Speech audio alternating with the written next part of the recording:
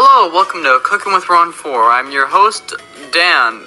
Wait, we already did this joke. Today we're making burgers, even though they're technically a sandwich, but fast food companies have made us believe that they are burgers. So we have Bob here. He's working on a. Oh, come on, man. Can't we just have a normal episode for once? I just want to make burgers. What the heck is this? Burger in the hot dog bun.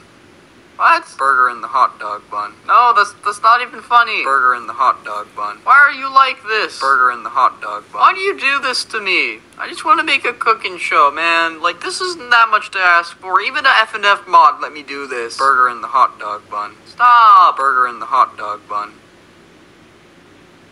Hello, welcome to Assassinating with Ron. I'm your host, Dan. Today we're going to learn how to make Bob an endangered species.